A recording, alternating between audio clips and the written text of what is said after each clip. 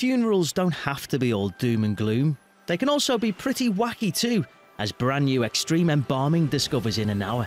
Now, after one hell of a weekend, Big Brother's got a final wicked surprise up his sleeve.